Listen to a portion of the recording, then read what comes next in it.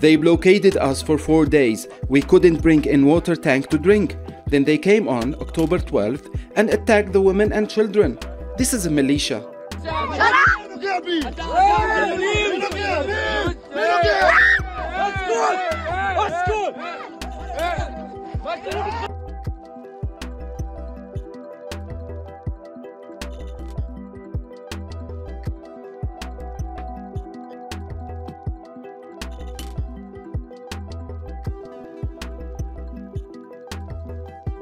I continue to be alarmed about extremist settlers attacking Palestinians in the West Bank.